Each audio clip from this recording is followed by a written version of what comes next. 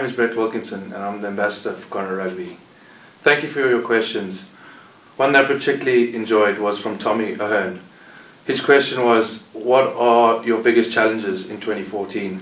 Well, I think for myself and the rest of the squad, it's getting off the bottom of the RaboDirect table. And by that, we need uh, consistent performances, raising the bar every time, and getting a few wins under our belt. I'm sure if we do those, the rest will take care of itself.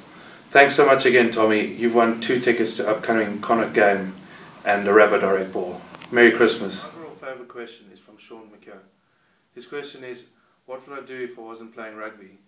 Well, I have a general interest in farming as I grew up from a farming background, and my other interest is business, and I wouldn't mind starting my business after rugby one day.